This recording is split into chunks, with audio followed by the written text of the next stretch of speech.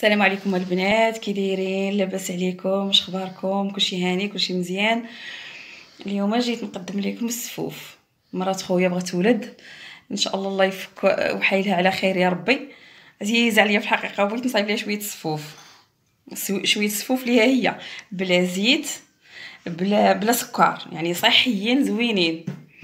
وتنتمنى يا ربي كاع اللي ما اللي ما عندهاش وليدات الله يرزقها واللي حامله الله يفكو حيلها على خير يا ربي إن شاء الله.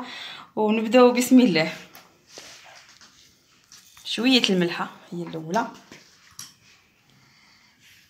والطحين. الطحين اللي اللي كنت حمرت لكم قبل هو هذا. ما نكثرش ما نديرش كاع جبانيه ديال ديال الطحين. هانتوما كتشوفوا في الطحين. مغرفه ديال الكوزة. هنا مغرفه ديال القرفة مغرفه ديال حبة حلاوة والنافع. زرعه الكتان. نخلط كاع المواد الناشفة.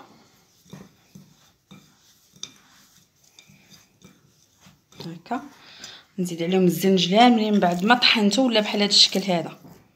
نتوما كتشوفوا يعني مقلي ماشي مقلي مقلي ومطحون. كاوكاو مقلي ومطحون. تي تبقاو طحنوا فيه كيولي بحال هذا الشكل هذا بحال الكريم بحال الكريمة. يعني الفول السوداني. اللوز حتى هويا تقل تقش دير وطحنوه.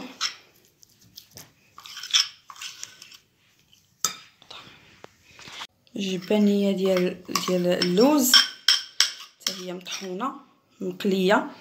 مقلية في الزيت مسلوقة ومقلية في الزيت ومطحونة.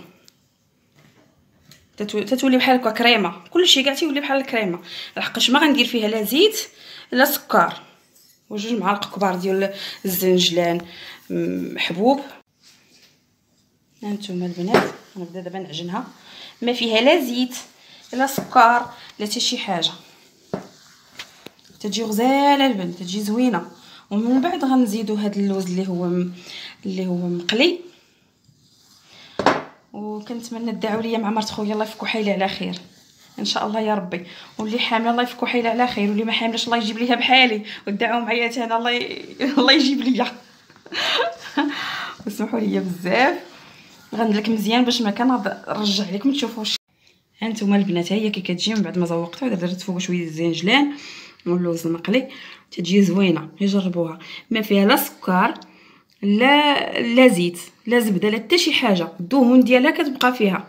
صحية بزاف يجربوها وكتجي حلوة واخا ما دايرهش فيها السكر.